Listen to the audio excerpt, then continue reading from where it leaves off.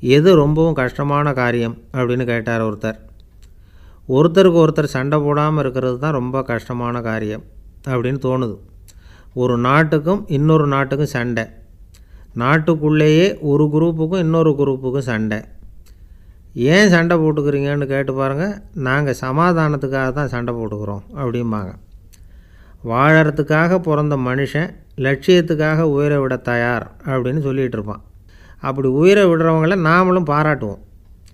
ஆனால் ஒன்றுமில்லாத விஷயங்களுக்கெல்லாம் சண்டை போடுறவங்களெல்லாம் அப்படிப்பட்டவங்களையும் சரி உயிரை விடுறவங்களையும் சரி என்னென்னு சொல்கிறது யுத்தங்களாலேயும் சண்டைகளாலேயும் நாம் அடையிறது என்னங்கிறது ஒரு பக்கம் இருக்கட்டும். இழக்கிறது என்ன தெரியுமா? ஏராளமான உயிர்கள். ரத்தம் சிந்தறதுக்கு நான் தயார் அப்படின்னு மார்தட்டி சொல்லலாம். ஆனால் ரத்தம் சிந்தினா உயிர் காத்துக்கிட்டு இருக்க தயார் இல்லை அதாவது உயிர் வந்து நமக்காக காத்துக்கிட்டு இருக்க தயார் இல்லை இழக்கிற ரத்தத்தை ஈடுகட்டினா தான் உயிரை காப்பாற்ற முடியும். அதனால் இது சம்மந்தமாக ஆராய்ச்சி செய்கிற கட்டாயம் ஏற்பட்டு போச்சு. அதோட விளைவாக புதுசாக ஒன்றை கண்டுபிடிச்சிருக்கிறாங்க. அதுதான் செயற்கை ரத்தப்பொடி. இப்போ இந்த திடீர் சாம்பார் பொடி திடீர் ரசப்பொடி திடீர் காப்பி பொடி இப்படிலாம் சொல்கிறோம்ல அது மாதிரி இது திடீர் ரத்தப்பொடி. இஸ்ரேல் வந்து ஒரு சின்ன நாடு மக்கள் தொகை குறைச்சல் அதோட போர்கள் வேறு அதனால் காயம்பட்டவங்களை காப்பாற்றியே தீர வேண்டிய கட்டாயம். காப்பாற்றணும்னா ரத்த இழப்பை தடுக்கணும். அப்படின்னா உடனடியாக புது ரத்தம் செலுத்தி ஆகணும். திடீர்னு ரத்தம் வேணும்னா எங்கே போகிறது அதுவும் கிடைக்கிற ரத்தம் சேர்கிற குரூப்பாக இருக்கணும். ஒரு வேடிக்கை பார்த்தீங்களா? நான் வேறு குரூப்பு நீ வேறு குரூப்புன்னு இவன் சண்டை போடுறான். இதில் அடிபட்டவனுக்கு ரத்தம் கொடுக்க போனால் அதுலேயும் அது வேறு வேறு குரூப்பாக இருக்குது. அது ரத்தமும் வேறு வேறு குரூப்புன்னு சொல்லிகிட்டு இருக்குது. எந்த குரூப்பு ரத்தம் வேணும்? அது உடனடியாக கிடைக்கலன்னா என்ன பண்ணுறது இப்படிப்பட்ட கஷ்டம்லாம் நமக்கு வந்துடுது இதுக்காக தான் விஞ்ஞானிகள் இந்த ரத்த பொடியை கண்டுபிடிச்சிருக்கிறாங்க. அதாவது ஒரு ஆள் அடிபட்டு போட்டான்னு வச்சுங்களேன் அவனுக்கு ரத்தம் கிடைக்கல. உடனே என்ன பண்ணலாம்? இந்த சுத்தப்படுத்தப்பட்ட தண்ணீரை கொஞ்சம் எடுத்துக்க வேண்டியது. அதில் இந்த ரத்த பொடியை கரைக்க வேண்டியது. இப்போ இந்த செயற்கை ரத்தம் வந்து தயாராகிட்டுது இதை அந்த ஆள் உடம்புல ஏற்றி விட்ற வேண்டியது. இயற்கையாக நம்ம உடம்புல இருக்கிற ரத்தம் என்னென்ன வேலை செய்யுதோ அதே வேலையை இதுவும் செய்யும். அதாவது ஆக்சிஜனை உடம்புல எல்லா இடத்துக்கும் எடுத்துகிட்டு போகுது. அந்த வேலையை இந்த செயற்கை ரத்தமும் செஞ்சுருது. ஆனால் ஒரு விஷயம் இந்த செயற்கை ரத்தம் ஒரு அவசரத்துக்கு தான் உபயோகப்படுத்தலாம். ஒரு முதல் உதவி மாதிரி. அதை அப்படியே நிரந்தரமாக விட்டுற முடியாது. பின்னாடி வந்து தேவையான குரூப்பு உண்மையான ரத்தம் கிடைச்ச உடனே அதை செலுத்திக்கணும். உண்மையான ரத்தத்தை இருபதுலேருந்து நாற்பது நாள் வரைக்கும் தான் பாதுகாக்க முடியும். அதுவும் குளிர்பதன பெட்டியில். அதுக்குள்ளே உபயோகப்படுத்தலைன்னா அது வீணாக போயிடும். இந்த ரத்த பொடி அப்படி இல்லை. எவ்வளோ நாள் வேணும்னாலும் அப்படியே வச்சுருக்கலாம். குளிர்பதன பொட்டியும் தேவையில்லை. ஆனால் ஒன்று இது தண்ணியில் கலந்து செயற்கை ரத்தமாக ஆக்கிவிட்டா அதோடய வலு எழுபத்தி ரெண்டு மணி நேரம் தான் அதாவது மூணு நாள். அதுக்குள்ளே அந்த ஆசாமியை எங்கேயாவது ஆஸ்பத்திரிக்கு தூக்கிட்டு போய் உண்மையான ரத்தத்தை கொடுத்துடணும். சண்டையில் அடிபடுறவங்க சாலை விபத்தில் அடிபடுறவங்க இவங்களுக்கெல்லாம் அவசரத்துக்கு கை கொடுத்து உதவுறது இந்த செயற்கை ரத்த பொடி. அதுக்கப்புறம் நாம் கொடுக்குற ரத்தம் தான் அவங்கள காப்பாற்றணும் இன்றைக்கி வந்து ரத்தத்தை தானமாக கொடுக்க தயாராக இருக்கிற நல்ல உள்ளங்கள் ஏராளம். எவ்வளவு ஆக்சிடெண்ட்டு ஆப்ரேஷன் இதில் சம்மந்தப்பட்டவங்களை வந்து காப்பாற்றுறது நாம் தானமாக கொடுக்குற ரத்தம் தானே. ஒரு ஆக்சிடெண்ட்டு ஒரு ஸ்கூட்டர் ஒரு ஆள் மேலே மோதி விட்டுது. பார்த்து வரக்கூடாதா? அப்படின்னா அந்த ஆள் நீ தான் பார்த்து நடக்கணும். ஏன்னா இருபது வருஷமாக நான் அந்த ஸ்கூட்டரை ஓட்டிகிட்டு இருக்கிறேன். அப்படின்னு இவன் இதுக்கு அவன் சொன்னானா நீ தான் பார்த்து ஓட்டணும். ஏன்னா நாற்பது வருஷமாக நான் இப்படி நடந்துக்கிட்டு இருக்கிறேன் அப்படின்னானா. ஒரு ஊரில் ஒரு ராஜா இருந்தார். பெரிய அரண்மனையில் தான் இருக்கிறார். எல்லா வசதியும் இருந்தது. இருந்தாலும் அவர் எல்லாரும் சொல்கிறது எப்படி தெரியுமா? பிச்சைக்கார ராஜா. அப்படி ஒரு பேர் அவருக்கு நிலச்சி போச்சு. ஜனங்களும் சரி மற்ற தேசங்களில் உள்ளவங்களும் சரி அவர் அந்த பேர் சொல்லியே குறிப்பிடுறது வழக்கமாக போட்டுது. இது அவருக்கு ரொம்ப கவலையாக போச்சு. என்ன இது? நம்மளை தேடி வர்றவங்களுக்கெல்லாம் நாம் சோறு போடுறோம். நம்ம புகழ்ந்து பாடல் ஏற்றி கொண்டு வர்ற புலவர்களுக்கெல்லாம் அவங்க எப்படி வந்தாலும் ஒருவேளை சோறு போடணுங்கிறது உத்தரவு. இவ்வளவுலாம் செஞ்சும் நம்மளை போய் பிச்சைக்கார ராஜான்னு எல்லாரும் சொல்கிறாங்களே அது ஏன்? எதுக்காக இப்படி சொல்கிறாங்க இதுதான் ராஜாவுக்கு குழப்பம். சரி இதை பற்றி நம்ம அமைச்சர்கள்கிட்ட கேட்கலாமா அப்படின்னு யோசனை பண்ணார். இந்த விஷயத்தை போய் அவங்கக்கிட்ட எப்படி கேட்குறதுன்னு அவருக்கு தயக்கமாக இருந்தது. கௌரவ குறைச்சலாக தெரிஞ்சுது அவருக்கு. சரி சாதாரண குடிமக்கள்கிட்ட இதை பற்றி கேட்கலாமா அப்படின்னு யோசனை பண்ணார். கேட்கலாம். ஆனால் அவங்க யாரும் ராஜா முன்னாடி வந்து நின்று தைரியமாக பேசக்கூடிய அளவுக்கு இல்லை. ராஜாவோட குழப்பம் நாளுக்கு நாள் அதிகமாக போச்சு. கடைசியாக அவர் ஒரு முடிவுக்கு வந்தார். அதாவது இதை பற்றி ஒரு பிச்சைக்காரங்கிட்டே கேட்டு பார்த்துட்டா என்ன? இதுதான் அவர் பண்ண முடிவு. உடனே மாறு வேஷம் போட்டுக்கிட்டு நகர்வலம் போனார். ஒரு பிச்சைக்காரனை கண்டுபிடிச்சார். இதை பாருப்பா நம்ம ராஜாவை எல்லாரும் பிச்சைக்கார ராஜான்னே சொல்கிறாங்களே அதுக்கு என்ன காரணமாக இருக்கும் அப்படின்னு கேட்டார். அதுக்கு அவன் சொல்கிறான் இதுக்கான பதிலை இன்னும் ஒரு முப்பது நாளில் சொல்கிறேன் அப்படின்னா. உடனே இவருக்கு சந்தோஷம். உண்மையை அவங்ககிட்ட சொன்னார். நான் வேறு யாரும் இல்லை. நான் தான் இந்த நாட்டு ராஜா. இப்போ நீ என் கூடவே வந்துடு அரண்மனையிலேயே தங்கிக்கோ. முப்பது நாள் கழித்து எனக்கு பதில் சொல்லிவிட்டு அதுக்கப்புறமா நீ போகலாம் அப்படின்னு சொல்லி அழைச்சிட்டு வந்துட்டார். அரண்மனையில் ஒரு மூலையில் அவன் தங்கிறதுக்கு இடம் கொடுத்தார். தினம் ரெண்டு வேளையும் இவனுக்கு சோறு போடுங்க அப்படின்னு உத்தரவு போட்டார். ராஜா கொடுத்த இடத்துல போய் உக்காந்துக்கிட்டான் அந்த பிச்சைக்காரன். தினமும் அந்த அரண்மனையில் நடக்கிறதையெல்லாம் கவனிச்சிக்கிட்டு வந்தான். வேளா வேலைக்கு சாப்பாடு வரும் சாப்பிட்டுக்கிட்டு இருக்கான். இப்படி முப்பது நாள் முடிஞ்சுது. ராஜா வந்தார். என்ன என்னோட கேள்விக்கு பதில் என்னன்னு கண்டுபிடிச்சிட்டியான்னார். கண்டுபிடிச்சிட்டேன்னா.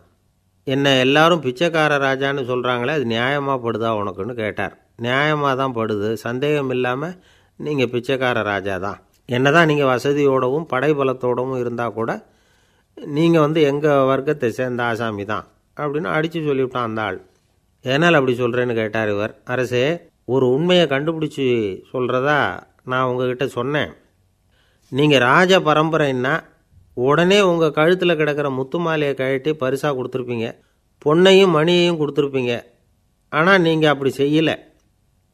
என்னை ஒரு மூலையில் உட்கார வச்சு ரெண்டு வேளை சோறு போட சொன்னீங்க. உங்களை தேடி யார் வந்தாலும் யார் வந்து பாராட்டி பேசினாலும் அல்லது பிரச்சனைகளை சொன்னாலும் நீங்கள் செய்கிற ஒரே காரியம் சோறு போடுறது தான். பிச்சைக்காரனுக்கு சோறு மட்டும்தான் உலகம். உங்கள் விஷயத்துலேயும் நீங்கள் அப்படி தான் நினைக்கிறதாக தெரியுது. நல்லா கவனிங்க. எந்த ஒரு பிரச்சனைக்கும் சோறு தான் முடிவுன்னு நினைக்கிறீங்க பாருங்கள் நீங்கள் சந்தேகமில்லாத எங்களை சேர்ந்த ஆள் தான் அப்படின்னு விட்டான் அந்த பிச்சைக்காரன். அதுக்கப்புறம் தான் அந்த ராஜா தன்னுடைய தவறுகளை எல்லாம் திருத்திக்கிட்டாராம். பசின்னு வர்றவங்களுக்கு சோறு தான் போடணும். அது தப்பு இல்லை. பாராட்ட வர்றவங்களுக்கெல்லாம் சோத்தையே போட்டு அனுப்புனா இப்படி தான் பேர் வரும். எனக்கு தெரிஞ்ச ஒருத்தர் தினமும் யாராவது ஒருத்தரை தன் வீட்டுக்கு அழைச்சிட்டு போவார் சாப்பாடு போட்டு அனுப்புவார். முன்னறிவிப்பு இல்லாமல் திடீர்னு ஒரு விருந்தாளியோட வீட்டில் போய் இவர் நிற்கிறது வழக்கம். அந்த அம்மாவும் இவருக்காக தயார் பண்ணி வச்சுருந்ததை இவர் அழைச்சிட்டு வந்திருக்கிற விருந்தாளிக்கு போட்டுருவாங்க. விருந்தாளி சாப்பிட்டுட்டு போனதுக்கப்புறம் இவர் மனைவிகிட்ட உனக்கு சிரமம் வேணாம் அப்படின்னு சொல்லிவிட்டு பக்கத்தில் உள்ள ஒரு ஹோட்டலுக்கு போய் காசு கொடுத்து சாப்பிட்டுட்டு வந்துடுவார் பல நாள் இப்படி நடக்கும். ஒரு நாள் அவரை தனியாக கூப்பிட்டுக்கிட்டு போய் ஏன் இப்படி பண்ணுறீங்கன்னு கேட்டோம் அதுக்கு அவர் சொல்கிறாரு எங்கள் வீட்டு சாப்பாட்டிலேருந்து தப்பிக்கிறதுக்கு எனக்கு வேறு வழி எதுவும் தெரியல சார். அதனால தான் இப்படி பண்ணிகிட்ருக்கிறேன் அப்படின்னார். ரொம்ப பரிதாபமாக ஒருத்தன் எப்படி நடந்துக்கிறாங்கிறத வச்சு தான் அந்த ஆள் எப்படிங்கிறத நாம் முடிவு பண்ணுறோம் ஆளுமைன்னு சொல்கிறோம்ல அதுக்கு வந்து சூழ்நிலைகளை ஆளுகின்ற தன்மை அப்படின்னு விளக்கம் கொடுக்குறார் ஒரு உளவியல் நிபுணர். சரி ஒரு மனிதனுடைய ஆளுமையை உருவாக்குகிற விஷயங்கள் என்னென்ன? பிறப்பு வளர்க்கப்பட்ட விதம் படிப்பு நண்பர்கள் சமுதாயம் இப்படி நிறைய உண்டு. ஆளுமையின் அடிப்படையில் சில மனநோய்கள் உண்டாகுது. அதெல்லாம் என்னென்னங்கிறத தெரிஞ்சு வச்சுக்கிட்டோம்னா நம்ம கூட இருக்கிறவங்கள அடையாளம் கண்டுபிடிக்கிறதுக்கு அது ரொம்ப உபயோகமாக இருக்கும். ஃப்ரெனாய்டு ஆளுமை அப்படின்னு ஒன்று இந்த கோளாறு உள்ளவங்க எப்படி இருப்பாங்க தெரியுமா? அதிக உணர்ச்சி சந்தேகம் பொறாமை இதெல்லாம் அதிகமாக இருக்கும். வளைஞ்சு கொடுக்க மாட்டாங்க. அடுத்தவங்களோட இணக்கமான உறவு இருக்காது. அவங்க செய்கிற தப்புக்கெல்லாம் அடுத்தவங்கள வந்து குறை சொல்லிகிட்டு இருப்பாங்க. இது ஒரு ரகம். அடுத்தது வந்து ஸ்கிசாய்டு ஆளுமை அப்படின்னு சொல்கிறாங்க இந்த கோளாறு உள்ளவங்க அடுத்தவங்களோட பழக கூச்சப்படுவாங்க. சின்ன வயசுலேயே இது ஆரம்பமாயிடுது. பகல் கனவுலேயே சஞ்சரிப்பாங்க. அவங்களுடைய விரோதம் கோபம் இதை கூட வெளியில் காட்டிக்க முடியாமல் இருப்பாங்க. இவங்களுக்கு அகமுகம். பிரச்சனைகள்லேருந்து ஒதுங்கி எதுலேயும் ஈடுபாடு இல்லாதவங்களாக இருப்பாங்க. இப்படி ஒரு ரகம். அடுத்தது சைக்ளோதமிக் ஆளுமை அப்படின்னு சொல்கிறாங்க அது என்னென்னா உணர்ச்சிகளில் ஏற்றத்தாழ்வு அதிகமாக இருக்குமா? சில சமயம் பார்த்தா மகிழ்ச்சியாக இருப்பாங்க சில சமயம் சோகமாக உட்காந்துருப்பாங்க அவங்க மனநிலைக்கு தகுந்த மாதிரி சமூக நிகழ்ச்சிகளில் பங்கெடுத்துக்குவாங்க இன்னொரு வகை என்னென்னா எண்ணெய் பீடிகை ஆளுமை அப்படின்னு பேர் வச்சுருக்கிறாங்க அதுக்கு. இவங்களுக்கெல்லாம் கரெக்டாக இருக்கணும் எல்லாம். சட்டத்திட்டம் இதுலேயும் ஒரு ஒழுங்குமுறை இப்படி எதிர்பார்க்குற மனோபாவம். இவங்க எதிர்பார்ப்புக்கும் வரன்முறைக்கும் மற்றவங்க கட்டுப்படணும்னு நினைப்பாங்க. இந்த நிலைமை நீடித்தா என்ன ஆகும் தெரியுமா? அலைக்கழிக்கிற எண்ணங்கள் திரும்ப திரும்ப ஒரே செயலை செய்ய தூண்டுற மன தளர்ச்சிக்கு ஆளாயிடுறாங்க.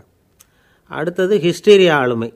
சின்ன விஷயத்தையெல்லாம் பெருசுப்படுத்தி நாடகமாக்குற நடிகர்கள் இவங்க. உணர்ச்சி அதிகம் உள்ளவங்க.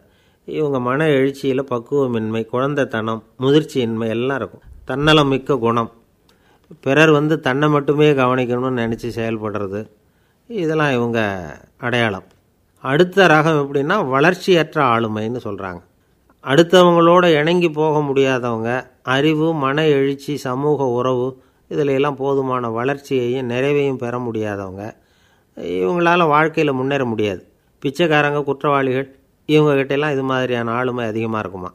அடுத்தது என்னென்னா சோறு உடைய ஆளுமை. எதுலேயும் உற்சாகம் இல்லாமல் சோர்ந்து போயிருப்பாங்க. அதுக்கெல்லாம் நமக்கு வலிமை இல்லைப்பா அப்படின்னு சொல்லிகிட்டு இருப்பாங்க. சின்ன விஷயங்களுக்கெல்லாம் அதிர்ச்சி அடையிறது வாழ்வின் சுவையை வந்து அனுபவிக்க முடியாதவங்க. இன்னொரு ரகம். இது வந்து கொதித்தெழும் ஆளுமைங்கிறாங்க. எதுக்கு எடுத்தாலும் ஆத்திரம் குரோதம் வன் செயல் இதிலெல்லாம் ஈடுபாடு. இப்படி உள்ளவங்க. நத்தை வகை ஆளுமை அப்படின்னு ஒன்று அடுத்தவங்க மேலே விரோதம் இருக்கும் அடிக்கணுங்கிற எண்ணம் இருக்கும்.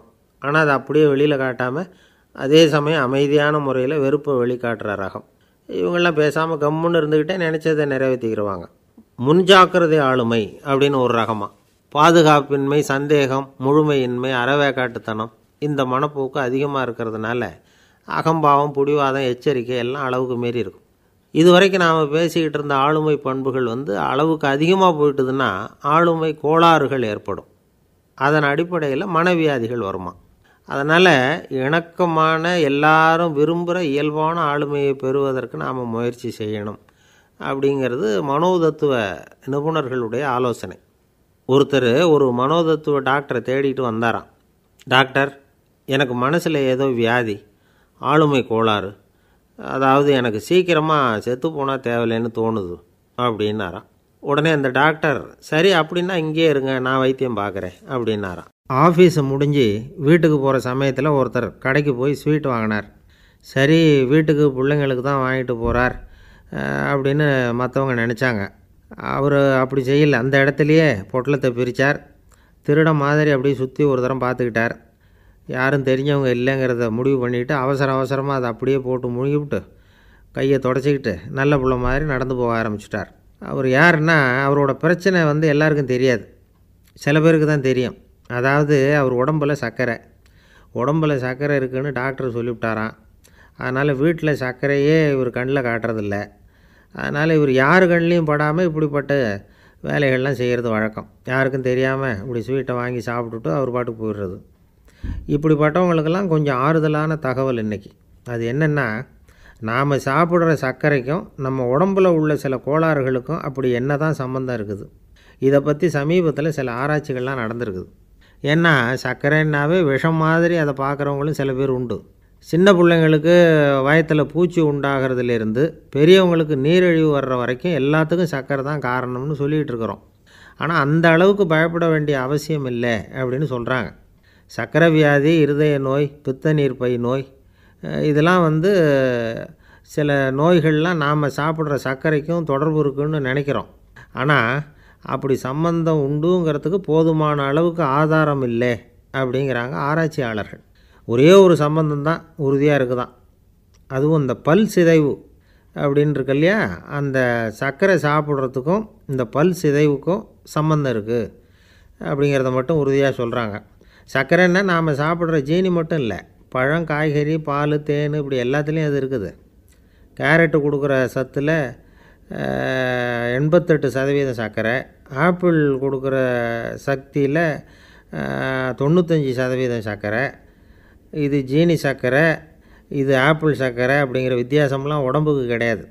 ரெண்டுமே உடனடியாக வந்து சக்தி கொடுக்குது. ஒரு ஸ்பூன் சர்க்கரையில் வந்து பதினாறு கலோரி தான் சத்து இருக்குது. அதிகமாக சர்க்கரை சாப்பிட்டா நீரிழிவு வந்துருங்கிறது தப்பான ஒரு அபிப்பிராயம். டயபெட்டிஸுங்கிறது ஒரு மெட்டபாலிக் டிசார்டர் அவ்வளவுதான். அதாவது நாம் சாப்பிட்ற சர்க்கரையை நம்ம உடம்பு திறமையாக உபயோகப்படுத்திக்க முடியல அப்படின்னு அர்த்தம். அதனால தான் அதிகமாக இனிப்பு வேணாம்னு சொல்கிறோம் ஏற்கனவே உடம்பால் முடியாத ஒன்றை மறுபடியும் அது தலையில் சுமத்தி அதிகமாக வேலை வாங்க வேணாமே அப்படிங்கிறதுக்காக தான். ஆகாரத்தில் அதிகமாக சர்க்கரை இருந்தால் அதனால் உடனே சர்க்கரை வியாதி வந்துடும்ங்கிறதுக்கு விஞ்ஞான ரீதியாக போதுமான ஆதாரம் இல்லை. அதனால் எப்போவாவது அதிகமாக ஸ்வீட்டு சாப்பிட்டுட்டா ஐயோ அதிகமாக சாப்பிட்டோமோ என்ன பண்ண போகுது தெரியலையே அப்படின்னு நினச்சி மனசை போட்டு குழப்பிக்க வேண்டியதில்லை. பொதுவாக எதுவுமே அதிகமாக வேண்டாம். எல்லாம் சீராக இருந்தால் போதும். நீரிழிவுங்கிறது புதுசாக வந்துட்ட ஒரு நோய் இல்லை. ரொம்ப காலமாகவே இருக்கிற ஒன்று தான் நம்ம முன்னோர்கள் இதை மதுமேகம் அப்படின்னு சொல்லுவாங்க. அதை கட்டுப்படுத்துறதுக்கு அவங்களே சில வழிமுறையை சொல்லி வச்சுருக்கிறாங்க. அது என்னென்னா வேறு ஒன்றும் இல்லை இந்த பாவக்காய் முள்ளங்கி அருகம்புல் அவ்வளவுதான். வெள்ளை முள்ளங்கி இருக்குல்ல அதை வாரத்துக்கு மூணு நாள் சாப்பிட்டுக்கிட்டு வாங்க. நூலுக்கோல் ரொம்ப நல்லது.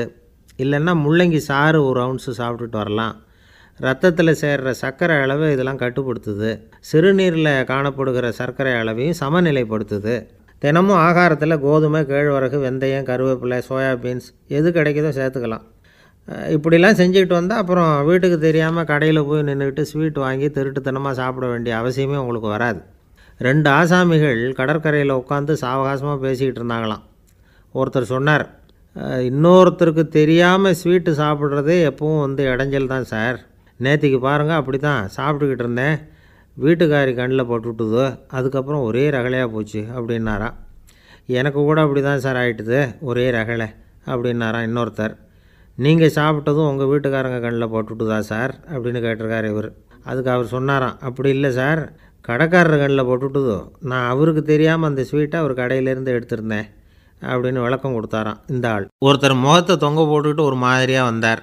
என்ன விஷயம்னு விசாரித்தேன் என்னுடைய நண்பன் ஒருத்தங்கிட்ட கருத்து வேறுபாடு இனிமேல் நமக்குள்ளே எந்த சம்மந்தமும் வேணாம்னு நட்பை முறிச்சிட்டு வந்துட்டேன்னா. நண்பர்கள்னு இருந்தால் கருத்து வேறுபாடு வரத்தான் செய்யும்னு. கருத்து வேறுபாடு வராமல் இருக்கிறதுக்கு ஏதாவது வழி உண்டா? அப்படின்னு கேட்டாவே அதை பற்றி நிபுணர்கள் சில யோசனைகளை சொல்லியிருக்கிறாங்கன்னு. முதல் விஷயம் என்னென்னா உங்கள் நண்பனுக்கு ஒரு செய்தி சொல்லணும்னா அதை நீங்களே நேரடியாக சொல்லுங்கள் அல்லது உங்கள் கைப்பட கடிதம் எழுதுங்க. அதாவது நேரடி தொடர்பு முக்கியம். அதை விட்டுட்டு இன்னொருத்தர் மூலமாக நண்பர்களுக்கு செய்தி அனுப்புனா நீங்கள் சொல்கிற செய்தி அப்படியே போய் சேராது. அது சேதமாயிடும்.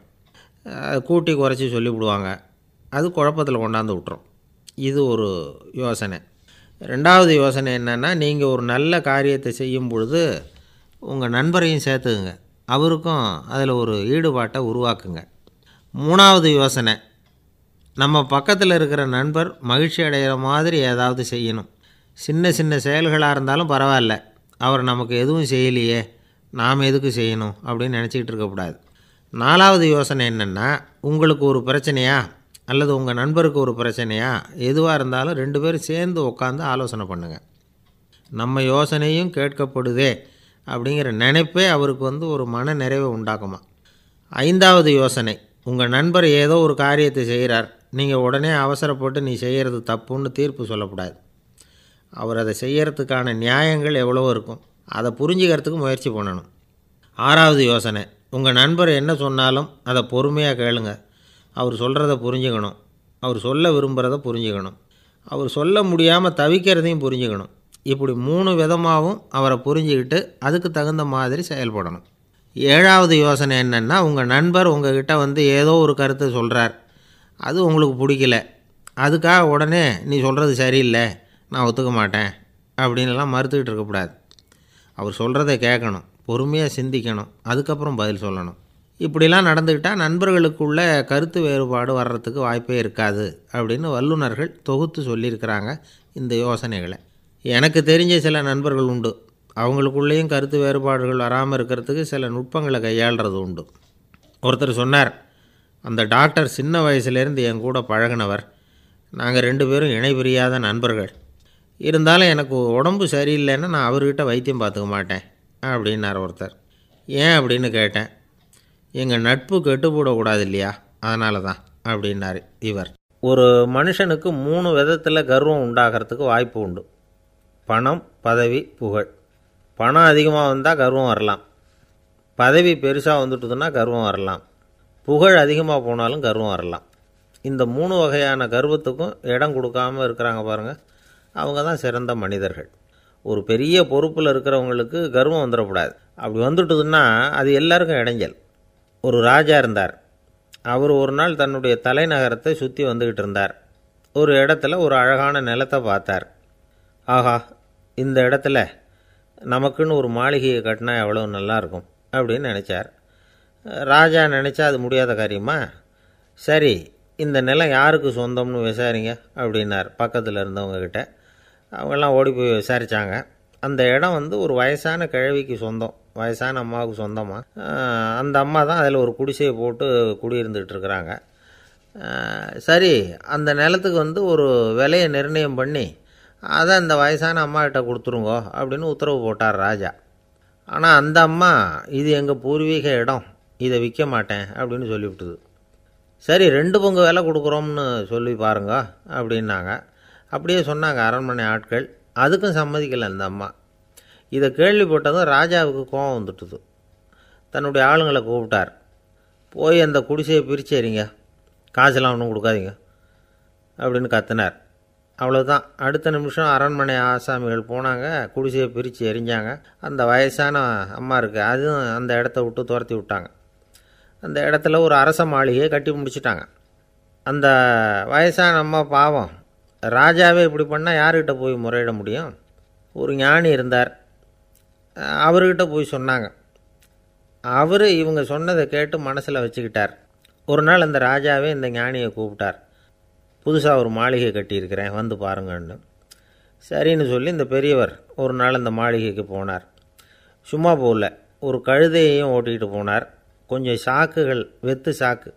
அதையும் எடுத்து கழுதை முதுகில் போட்டு கழுதையை ஓட்டிகிட்டு போகிறார் ராஜா பார்த்தார் அவருக்கு இது ஆச்சரியமாக இருந்தது. என்ன இது மாளிகைக்கு வந்துட்டு போங்கன்னு கூப்பிட்டா கழுதை சாக்கு இதெல்லாம் கொண்டு வராரு?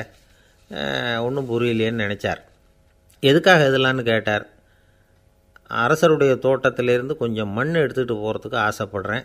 அதுக்கு நீங்கள் அனுமதி கொடுக்கணும் அப்படின்னார் இவர். இது என்ன வேடிக்கையான கோரிக்கையாக இருக்குது? அப்படின்னு நினச்சார் ராஜா. இருந்தாலும் மண்ணு தானே கேட்குறாரு எடுத்துகிட்டு போகட்டுமே அப்படின்னு நினச்சார். சரின்னு அனுமதி கொடுத்தார். அந்த பெரியவர் தோட்டத்துக்கு போனார். மண்ணை வெட்டினார் சாக்கில் போட்டு நிரப்புனார். ராஜாவை கொஞ்சம் கிட்ட வாங்கன்னு கூப்பிட்டார். இந்த மண் மூட்டையை தூக்கி கழுதியோட முதுகில் வைக்கணும் கொஞ்சம் உதவி பண்ணுங்கன்னார். ஓ பண்ணுறேனே அப்படின்னு சொல்லி ராஜா கிட்டே போனார். மூட்டையை தூக்கி பார்க்குறாரு முடியல. திணறி போட்டார் இப்போ அந்த ஞானி பேசினாராம் அரசே இந்த ஒரு சாக்கு மண்ணையே உங்களால் தூக்க முடியல. அந்த கிழவிகிட்ட இருந்து அந்த அக்கிரமமாக அபகரித்த இந்த தோட்டம் பூராவையும் சுமக்கணும்னு ஆசைப்படுறீங்களே அது உங்களால் முடியுமா? அப்படின்னு கேட்டாராம். ராஜா யோசனை பண்ண ஆரம்பித்தார் தன்னுடைய செயலுக்காக வருத்தப்பட்டாராம். அந்த வயசான அம்மாவை உடனடியாக வரவழைச்சார். தாயே தப்பு பண்ணிட்டேன். என்னை மன்னிச்சுக்குங்க. இன்னையிலேருந்து இந்த மாளிகையும் தோட்டமும் உங்களுக்கு தான் சொந்தம் அப்படின்னு சொல்லிவிட்டாராம். போகிறப்ப இந்த உலகத்திலேருந்து எண்ணத்தை எடுத்துகிட்டு போக போகிறோம் அதனால் ரொம்பவும் அலட்டிக்க வேண்டியதில்லை கர்வப்பட வேண்டியதில்லை அப்படிங்கிறது ஒரு பெரிய உபதேசம். ஒரு பெரிய மனுஷன் சாக கிடந்தார். ரொம்பவும் அழுதார். ஏன் அழறீங்க? அப்படின்னு கேட்டாங்க சுற்றி இருந்தவங்க. நான் சாகிறதுக்காக கவலைப்படலை. நான் வந்து நம்ம ஜனங்களுக்காக எவ்வளவோ காரியம்லாம் செஞ்சுக்கிட்டு வந்தேன். நான் செஞ்சுக்கிட்டு வந்த சேவையை இனிமேல் யார் செய்ய போகிறாங்க அது யாரால் முடியும்? அதை நினச்சி தான் அழகிறேன் அப்படின்னாராம் ஒருத்தர் முன்னாடி வந்தார். அதுக்காக நீங்கள் கவலைப்படாதீங்க. உங்கள் சேவையை தொடர்ந்து செய்கிறதுக்கு என்ன மாதிரி இளைஞர் பட்டாலும் தயாராக இருக்குது இருந்தாலும் எங்கள் கவலை என்னென்னா அப்படின்னு இழுத்தார் என்ன சொல்லுங்கன்னு கேட்டார் அவர். நீங்கள் இது வரைக்கும் என்ன சேவை செஞ்சுக்கிட்டு வந்தீங்க அதுதான் எங்களுக்கு இன்னமும் புரியாத புதிராக இருக்குது அப்படின்னாராம் அவர். இந்த காலத்து புள்ள ஒருத்தன் தன்னோட அப்பாவை பார்த்து சொன்னான் அப்பா நான் உனக்கு உதவி செய்யலாம்னு நினைக்கிறேன். என்ன உதவி செய்யணும்னு சொல்லு அப்படின்னா நீ சும்மா இருந்தால் அதுவே எனக்கு செய்கிற பெரிய உதவிடா அப்படின்னார் அப்பா. சும்மா இருக்கிறதும் ஒரு உதவி தான் அது மாதிரி மௌனமும் ஒரு சமூக சேவை தான் அப்படிங்கிறார் காஞ்சி பெரியவர் நமக்கு வந்து ஐந்து புலன்கள் இருக்குது மெய் வாய் கண் மூக்கு செவி. இந்த அஞ்சுலேயும் அதிகப்படியான வேலை எதுக்குன்னு நினைக்கிறீங்க? வாய்க்கு தான். ஏன்னா அதுக்கு ரெண்டு வேலை. இப்போ கண்ணுக்கு பார்க்குறது மட்டும்தான் வேலை. காதுக்கு கேட்குறது மட்டும்தான் வேலை. மூக்குக்கு வாசனை அறியறது தான் வேலை. உடம்புக்கு உணர்றது மட்டும்தான் வேலை. ஆனால் வாய் அப்படி இல்லை. அதுக்கு ரெண்டு வேலை. சாப்பிட்றதும் அதுதான் பேசுகிறதும் அதுதான். அதாவது வாய் ஒன்று தான் கர்மேந்திரியமாகவும் இருக்குது ஞானேந்திரியமாகவும் இருக்குது. அப்படின்னு சொல்லுவாங்க. சாப்பாட்டில் உட்காந்தா எந்தெந்த ஆகாரம் என்னென்ன ருசின்னு அறிவிக்கிற வேலையும் செய்யுது. சபையில் உட்காந்தா பாடுறது பேசுறது சிரிக்கிறது இது மாதிரியான வேலையும் செய்யுது. இன்னொரு வித்தியாசம். கண்ணு காது மூக்கெல்லாம் ஸ்ட்ரெயின் பண்ணிக்கிட்டு வேலை செய்கிறதில்ல ஒரு ரோஜா பூ பார்த்தா உடனே மூளை மூக்கு அப்படியும் இப்படியும் அசைய ஆரம்பிக்கிறது இல்லை ஒரு சங்கீதத்தை கேட்ட உடனே காது ஆட ஆரம்பிக்காது. ஆனால் வாய் அப்படி இல்லை. அது பேசினாலும் சரி சாப்பிட்டாலும் சரி அசைஞ்சு தான் ஆகணும். ஆக மற்றதை விட வாய்க்கு வேலை ஜாஸ்தின்னு தெரியுது. சாப்பிட்றது பேசுறது அப்படின்னு ரெண்டு காரியம் அதுக்கு. இப்படி ரெண்டு காரியம் இருக்கிறதுனால அது ரெண்டையும் பாதியாக குறைச்சிக்கணுங்கிறது கடவுள் அபிப்பிராயமாக இருக்கணும் அப்படிங்கிறார் காஞ்சி பெரியவர். ஆனால் இப்போ நாம் அப்படியே நடந்துக்கிறோம்? அதுக்கு நேர்மாறாக நடந்துக்கிறோம். நாம் சாப்பிட்றதும் அதிகம் பேசுகிறதும் அதிகம். ரெண்டு வேலையையும் தேவைக்கு அதிகமாகவே செய்கிறோம். வாய் தான் ரொம்ப ஓவர் ஒர்க்குடு. அதுக்கு ஓய்வு கொடுத்தா உடம்பும் நல்லாயிருக்கும் உலகமும் நல்லாயிருக்கும். மௌன விரதம் இருக்கிறதெல்லாம் எதுக்காக நினைக்கிறீங்க? இதுக்காக தான். இந்த காலத்தில் மௌனமாக இருக்கிறவங்கெல்லாம் மகத்தான தொண்டு செய்கிறாங்க அப்படின்னு தான் சொல்லணும். சத்தம் அதிகமாக போய் தான் சவுண்டு பொல்யூஷன் வருது. அது மட்டும் இல்லை மௌனமாக இருந்தால் சண்டை சச்சரவே வராது. மௌனம் கலக நாஸ்தி. ஆக இதுவும் ஒரு சமூக சேவை தான். நமக்கு தான் வாய் இருக்குதேங்கிறதுக்காக வசமாக சாப்பிட்றதும் தப்பு வளவளன்னு பேசுகிறதும் தப்பு. ஒரு கருத்தை சொல்கிறதுக்கு ஒரே ஒரு சொல்லு போதும் அப்படின்னு இருக்கும்பொழுது ரெண்டு சொற்களை செலவு பண்ணாதே. எவ்வளவு சொன்னாலும் அதனால் ஒரு பயனும் விளையாது அப்படின்னு தெரிய வருமேயானால் அந்த ஒரு சொல்லையும் விரயம் பண்ணாதே அப்படிங்கிறார் ஒரு அறிஞர். எல்லா குணங்கள்லேயும் மௌனம்தான் சிறந்தது அப்படிங்கிறார் ஒருத்தர். மௌனமாக இருக்கிறது மூலமாக மற்றவர்கள் குறைகளை வந்து நம்மளால் தெரிஞ்சிக்க முடியும். அதே சமயத்தில் நம்மக்கிட்ட இருக்கிற குறைகளை மற்றவங்களுக்கு தெரியாமல் மறைச்சிக்கவும் முடியுங்கிறார் அவர். உண்மைதானே? ஒரு பெரிய மேடை பேச்சாளர் பொது வாழ்க்கையில் இருபத்தஞ்சி வருஷ காலமாக ஈடுபட்டிருக்கிறவர். அவர் மனைவி ஒரு நாள் சொன்னாங்க எங்கள் வீட்டுக்காரர் இருபத்தஞ்சி வருஷ காலமாக பொது வாழ்வில் ஈடுபட்டிருந்தா கூட இந்த மாதம் பத்தாம் தேதியிலேருந்து தான் மக்களுக்கு சேவை செய்ய ஆரம்பிச்சிருக்கார் அப்படின்னு நாங்கள் ரொம்ப பெருமையாக பத்தாம் தேதிக்கு அப்படி என்ன விசேஷம்? அப்படின்னு கேட்டோம். அன்னையிலேருந்து தான் அவர் மேடையில் பேசுகிறத நிறுத்தினார் அப்படின்னாங்க அந்த அம்மா. ஒரு நண்பர் அவசரமாக என்கிட்ட ஓடி வந்தார். அப்புறம் சொன்னார் என்னால் நம்பவே முடியல சார். என் பையனை அப்படி அப்படின்னு சொல்லி ஆச்சரியப்பட்டார். உங்கள் பையன் அப்படி என்ன தான் செஞ்சுட்டான்? அப்படின்னு கேட்டேன். என்னால் முடியாத ஒரு காரியத்தை அவன் செஞ்சுட்டான் சார் அப்படின்னார். அது என்னன்னு தான் சொல்லுங்களேன் என்ன. அஞ்சாவது வகுப்பில் அவன் ஒரே தடவையில் தேறிட்டான் சார். அதாவது ஒரே அட்டம்ப்டில் பாஸ் ஆகிருக்கான் அப்படின்னார் மூச்சு வாங்க. கஷ்டப்பட்டு பரீட்சை எழுதுனது அவன். இவருக்கு ஏன் மூச்சு வாங்குது? நம்மால் செய்ய முடியாத ஒரு காரியத்தை இன்னொருத்தர் செய்யும் பொழுது அது நமக்கு ஆச்சரியமாக இருக்குது. சர்க்கஸ் பார்க்குறோம் ஒருத்தர் அந்த இடத்துல தொங்குறார். அது நமக்கு ஆச்சரியம். ஏன்னா அது நம்மால் முடியாத காரியம். நம்மால் முடியாத ஒன்றை அடுத்தவர் எளிதாக செய்யும் பொழுது நாம் மருள்வது இயற்கை. இதை தான் தொல்காப்பியம் மருட்கை அப்படின்னு சொல்லுது. இந்த வியப்பு இருக்குதே. இது நாலு வகையில் ஏற்படுறதாக தொல்காப்பியம் சொல்லுது. அது என்ன? நாலு வகை. முதல் வகை எப்படின்னா புதுமையான அரிய செயல்களை செய்கிறது ரெண்டாவது வகை என்னென்னா பெரும் செயல்களை செய்கிறது மூணாவது வகை என்னென்னா மிக நுட்பமான செயல்களை செய்கிறது நாலாவது வகை என்னென்னா ஆக்கம் தரும் செயல்களை செய்கிறது புதுமை பெருமை சிறுமை ஆக்கமோடு மதினம் சாலா மருட்கை நான்கே அப்படிங்கிறது தொல்காப்பியம். இன்றைக்கி விஞ்ஞானம் வந்து புதுசு புதுசாக எதை எதையோ கண்டுபிடிக்குது. ஆரம்பத்தில் அது ஆச்சரியமாக இருக்குது அப்புறம் அது நமக்கு பழகி போடுது வானொலி பெட்டி புதுசாக வந்தப்போ ஒரு பெட்டி பேசுதுங்கிறது எவ்வளோ பெரிய ஆச்சரியம். இப்போ யாரும் அதை ஆச்சரியமாக பார்க்குறதில்ல மதினம் சாலா மருட்கை அப்படின்னு ஒரு சொற்றொடர் வருது பாருங்கள் அதில் கருத்தாழம் உண்டு.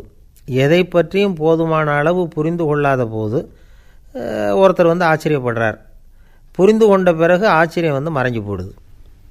மிக நுட்பமான செயல்களும் நம்ம வந்து ஆச்சரியப்பட வைக்கும். ஒரு அரிசியில் ஒரு திருக்குறள் எழுதி காட்டுறாங்க. ஒரு முட்டை ஓட்டுக்குள்ளே ஓவியம் தீட்டி காட்டுறாங்க. கருங்கல் சிற்பங்களில் எவ்வளவு நுட்பமான வேலைப்பாடுகளை எல்லாம் பார்த்து ஆச்சரியப்படுறோம். இது மாதிரி ஆக்கப்பூர்வமான அரிய செயல்களை செய்கிறது கூட வியப்பை உண்டு பண்ணும். குப்பை கூலங்களை கூட வாழ்க்கைக்கு பயன்படுகிற பொருளாக மாற்றுகிறவர்கள் இருக்காங்க. அவர்களுடைய செயல் வியப்பு அளிக்குது. இடைக்காட்டு சித்தர் பாடின மூவடி முப்பதுங்கிற நூலில் வர்ற ஒரு பாடல் ஆற்றல் பிறர் அறிதலின் அகம் கிளர்வு உறுதலின் கற்று அறிபாணர் கெழுமிய கழுமிய கோடலின் தோற்றம் உருகவே போற்றல் சால் வியப்பே. ஒருத்தருடைய ஆற்றல் தெரியாமல் இருந்தது. அவருடைய அரிய செயலை பார்க்கும் பொழுது வியப்பாக இருந்தது. மனசுக்குள்ளே கிளர்ச்சி. பாவலர்கள் இந்த இவர்களுடைய புகழை பாடி மற்றவர்களும் தெரிந்து கொள்ளுமாறு செய்கிறார்கள். அப்படிங்கிறது தான் ஒரு யதார்த்தமான உண்மை. ஆக எல்லா வகையிலும் வந்து மக்கள் வந்து தங்களுடைய வாழ்க்கையில் முன்னேறுவதற்கான வழிகாட்டுகிற ஒரு மெய்ப்பாடு தான் வியப்புங்கிறது. இந்த காலத்தில் நம்ம எப்படி எப்படியெல்லாம் ஆச்சரியப்பட வைக்கிறாங்க? ஒரு ஆளை பிடிச்சி ஜெயிலில் கொண்டு வந்தாங்க. ஜெயில் அதிகாரி அவனை ரொம்பவும் ஆச்சரியமாக பார்த்தாரான் இவன் கேட்டான் ஏன் சார் அப்படி பார்க்குறீங்க? நான் இப்போ இங்கே வர்றது உங்களுக்கு ஆச்சரியமாக இருக்குதா? அப்படின்னு கேட்டிருக்கான். இதுக்கு ஜெயில் அதிகாரி சொல்லியிருக்கார். நீ இப்போ இங்கே வந்ததில் எனக்கு ஒன்றும் ஆச்சரியம் இல்லைப்பா. ஏற்கனவே நீ இங்கேருந்து விடுதலையாகி போய் ஆறு மாதம் ஆச்சு. இவ்வளவு லேட்டாக வர்றியே அதுதான் எனக்கு ஆச்சரியமாக இருக்குது அப்படின்னாரான்